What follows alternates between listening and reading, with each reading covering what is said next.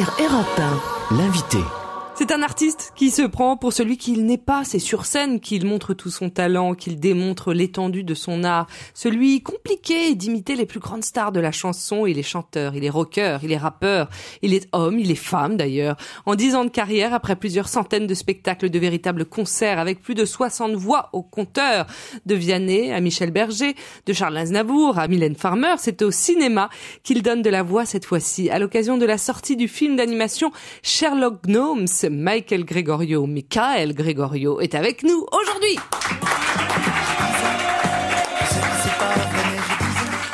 Bienvenue, installez-vous, Michael. Tout le monde. Comment ça va?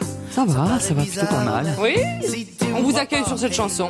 Bah ouais, Ah c'était le titre de mon dernier spectacle qui a terminé il y a 4 jours seulement. Donc voilà, j'ai plus 10 ans. Vous êtes un peu en deuil ou pas? Euh, un petit blues, ouais, ouais, ouais, ouais. C'est bizarre, non, d'arrêter un spectacle qui a tourné partout en France et puis j'ai même envie de dire dans le monde, puisque Voilà, vous avez fait quand même beaucoup de dates. Il y a eu quelques dates, euh, mais essentiellement quand même en fran- dans la francophonie ou en France. euh, Et vous avez fait votre dernière date à La Réunion? Et ouais, ouais, c'était magnifique. Je connaissais pas du tout, mais exceptionnel. Voilà. C'est vrai que ça doit pas être facile d'avoir rendez-vous avec des milliers de gens tous les soirs et d'un seul coup on est devant son merlu petit pois. euh, c'est sûr On que se dit pas- c'est fini, quoi. Ouais. C'est pas simple, mais en même temps, voilà, j'ai en- j'ai envie de faire d'autres choses et j'enchaîne directement avec euh, Sherlock. Donc, euh, bah, c'est. Donc il n'y a pas trop de période, il n'y a pas de Il voilà. n'y a pas eu, il y a pas vraiment il y a eu de pas eu de coup de mou. euh, Donc le. Et en même temps, je vais voilà. rappeler votre âge aux auditeurs, puisque vous avez 33 ans, donc autant Oui. dire que vous êtes au démarrage.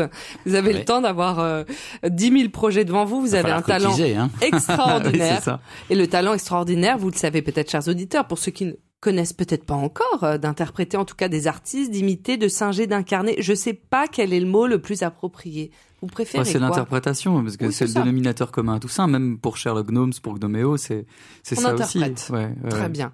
Quand on vous demande combien de voix vous imitez, vous répondez que vous n'en avez qu'une seule, la Oui. vôtre. Mais Oui, pourtant, oui, c'est jamais la même. Et ben si, pourtant, si on écoute bien, c'est tout le temps la même, c'est tout le temps la même chose. J'essaye, je, je- évidemment, je lui ajoute de la contrainte vocale pour lui donner de l'effet, mais euh, mais c'est euh, c'est tout le temps ma voix. J'essaye de faire croire que j'ai la voix des autres, et en fait, pas du tout. Alors, dans l'annuaire des stars, on a dû faire un choix, évidemment, pour cette euh, émission. Et en premier, plus qu'une personnalité, c'est un son, celui de la guitare.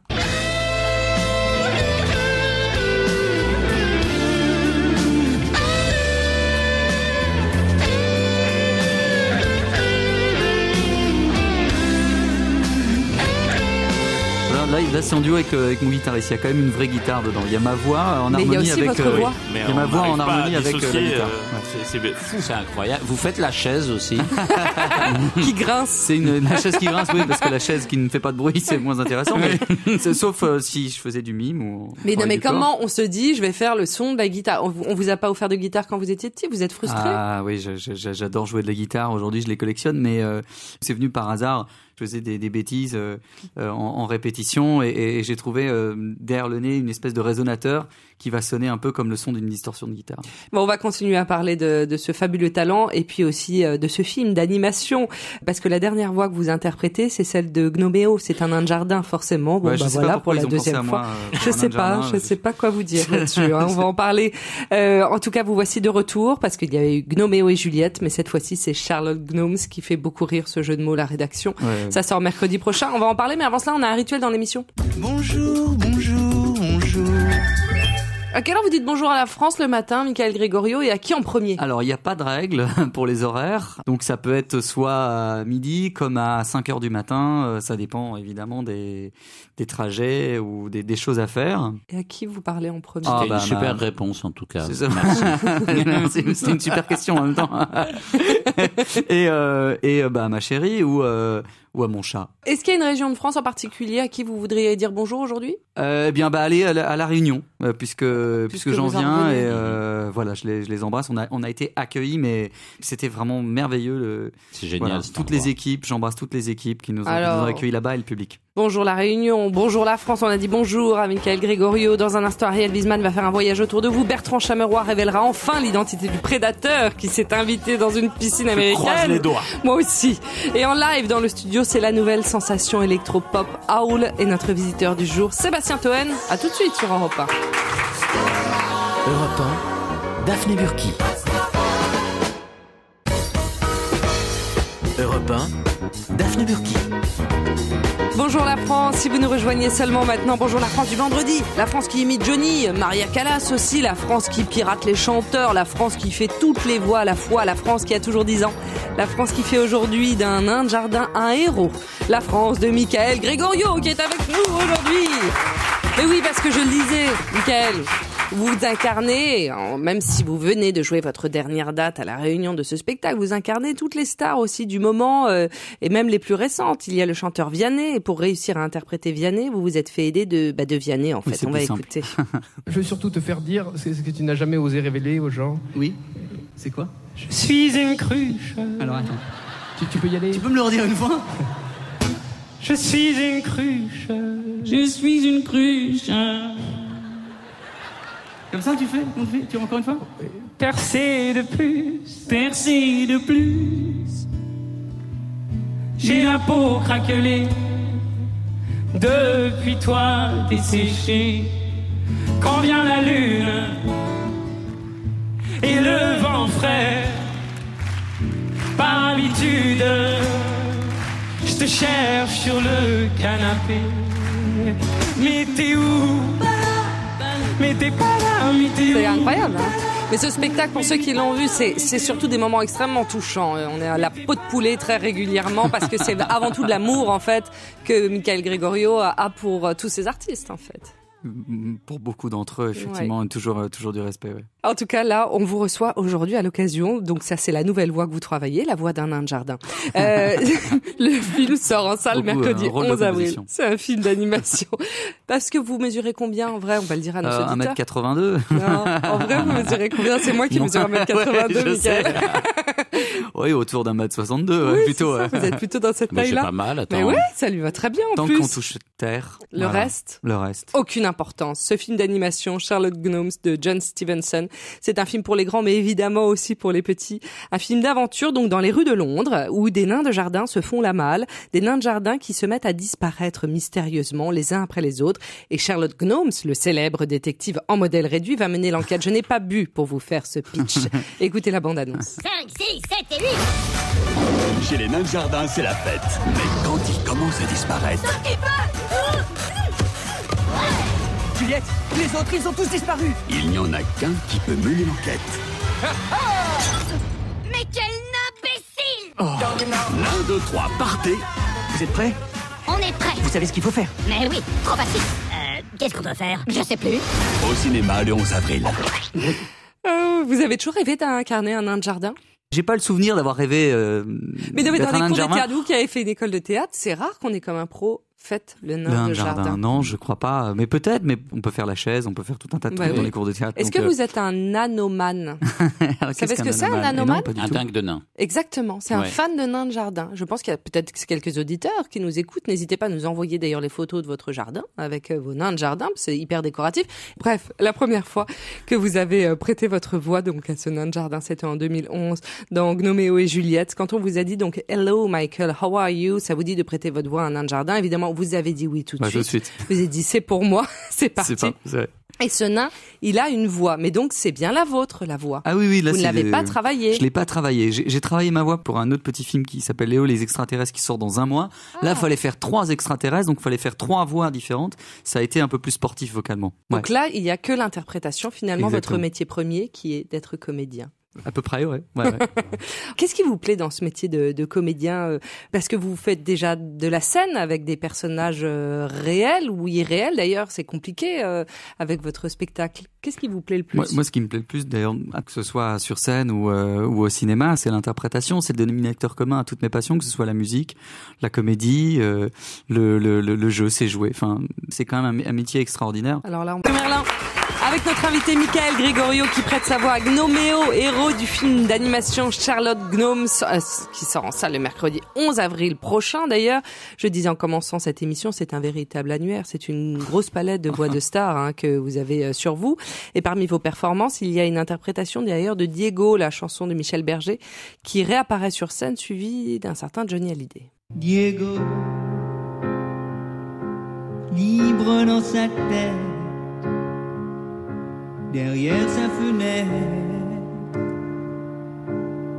s'endort peut-être.